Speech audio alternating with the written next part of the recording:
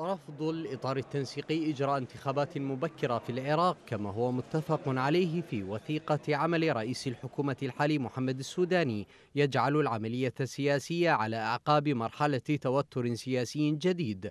تغذيها المخاوف من ردة فعل التيار الصدري الذي يراهن على الانتخابات لإعادة التموقع في الخارطة السياسية. القيادي في الإطار التنسيقي حسن فدعم أكد رفض الكتل السياسية في مجلس النواب الحالي إجراء انتخابات برلمانية مبكرة خلال الفترة المقبلة ولا سيما أن أي انتخابات مبكرة تعني حل البرلمان وبالتالي إجراء انتخابات في ظل غياب السلطة التشريعية عن السلطات الثلاث. حكومة السودان لم تدلي بأي تعليق حتى الآن حيال أخبار رفض الانتخابات المبكرة.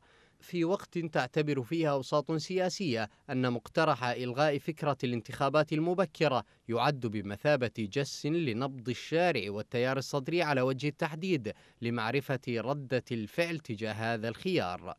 ويبدو من خلال المنهج الحكومي الجديد أن الإطار التنسيقي يعمل جاهدا على تصفية الخصوم من الساحة وإحكام السيطرة بشكل تام على مفاصل الدولة. وهذا ما يؤكد غياب أي نية لانتخابات مبكرة تقوض هذا المشروع التسلطي من قبل قوى الإطار.